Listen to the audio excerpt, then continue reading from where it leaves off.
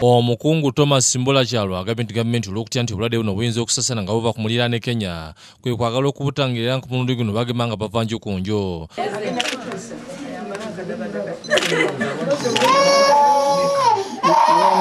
bw'abadde atongeza kaweefube ono ku ddwaliro ekitaamiro evumu omukwanaga w'enteekateeka eno mu bizinga evuma era nga embaka wa gavumenti mu kitundu kino apolo bwambale.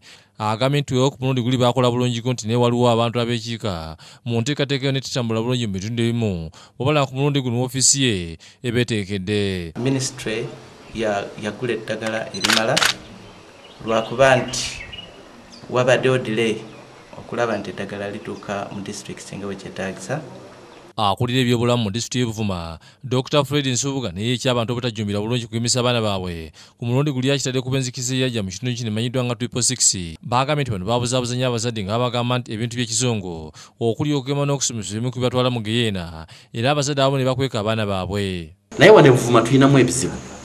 Waliwo ab'eddiini enzikiriza gye bayita triple six. Ah, tebakkiriza byabantu kusoma tebakkiriza abaana okugenda ku masomero tebakkiriza abaana okufuna obujjanjabi naki naye ndagidde poliisi esitukiremu era poliisi yatandise dda era manyi nti exercise eno ejja kutambula bulungi kubanga poliisi abambega naddala nnyo abaziyiza obumenyi bw'amateeka mwe bali mu field okugezaako okuziyiza oyo yenna anagezaako okutaataganya enkola eno oba exercise eno.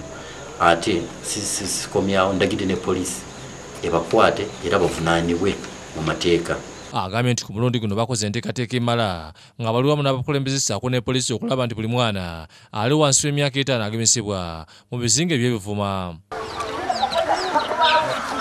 Baduli kiwalyanga yakusakidde eggulu eno ku lwabukedde tv